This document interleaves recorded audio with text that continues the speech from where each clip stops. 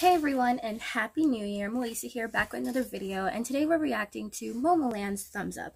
Um as you guys can see i'm a little dressed up today because i have church. So um let's just get into this so i can get ready.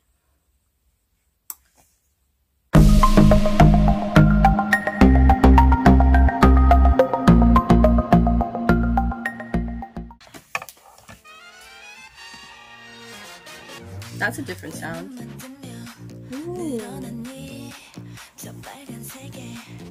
I love her black hair.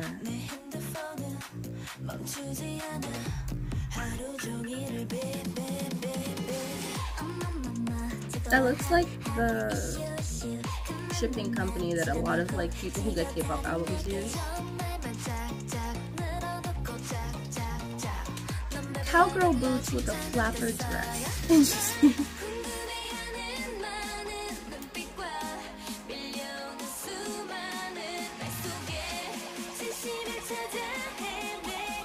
Express.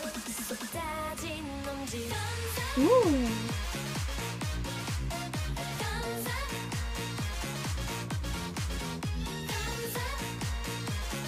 This is like Twice's Likey, but with like, I don't know, like the vibe of the music video is really different.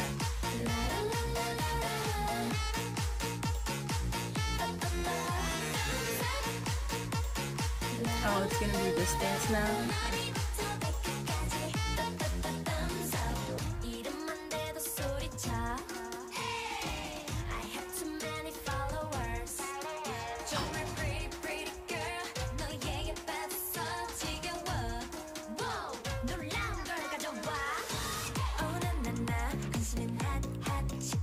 something's missing. I don't know what's missing from the song, but there's like something that's not 100% right with it.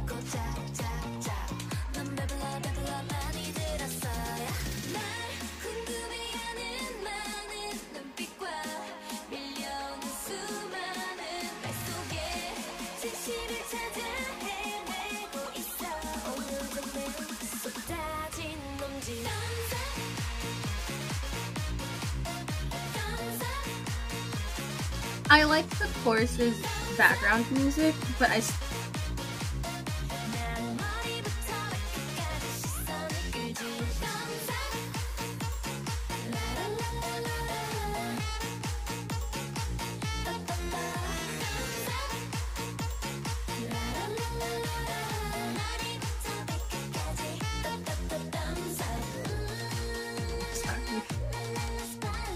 Ooh, her makeup.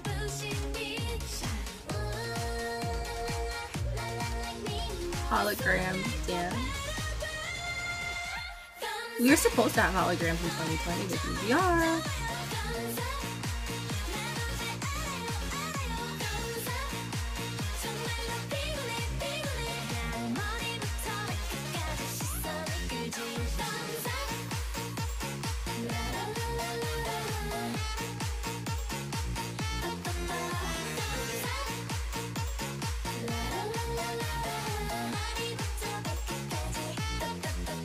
I don't know. Oh, cool. That looks very animated though. Alright, so that was Momoland thumbs up. I'm not sure how to feel about it. Like, I'm not sure.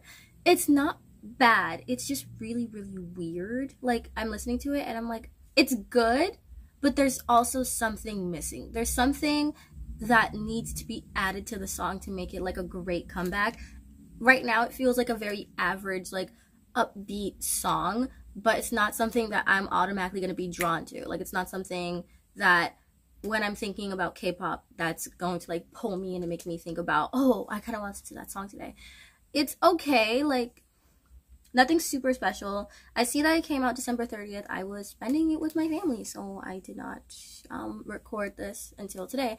Um, but the colors really remind me of the shipping company so i'm assuming that's one of their sponsors. So it's like a it's like a subtle plug for like that shipping company but in a way that's not putting their name on all the products. It's kind of just putting momoland on it but everyone knows the colors of that company. I'm going to hmm.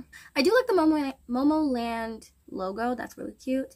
Um I see that they're getting a lot of dislikes still. I'm wondering if this is from the epidemic that was their career about a year ago, a year and a half ago at this point, where um, they released BAAM and Bboom Bboom and they sounded really similar. If that's why people are still doing dislikes, or if these are just genuine, like I don't like the song dislikes.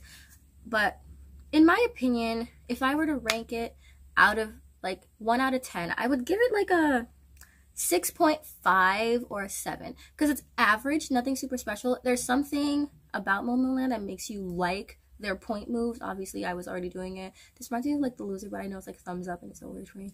Anyway, so that's like just a quickie little reaction to their comeback. I might listen to it a little bit more throughout the year. Maybe I'll start to like it more. But as of right now, it's probably not going to be in my top songs of 2020.